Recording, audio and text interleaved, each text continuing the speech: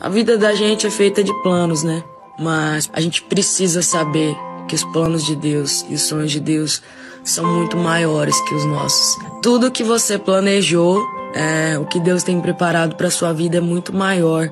E Deus precisa dos seus caminhos, mudar os seus caminhos, trocar os seus caminhos, fazer do jeito com que aconteça, do jeito que Ele imaginou para sua vida.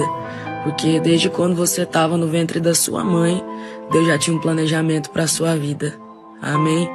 Então, acredite nisso. Se você acha que tá dando tudo errado na sua vida, que a sua profissão não tá dando certo, que as suas coisas não estão dando certo, que na sua família não tá dando certo, que seu relacionamento às vezes não tá dando certo, que não tá saindo como você planejou, saiba que os planos de Deus e os sonhos de Deus são muito maiores que os seus, tá?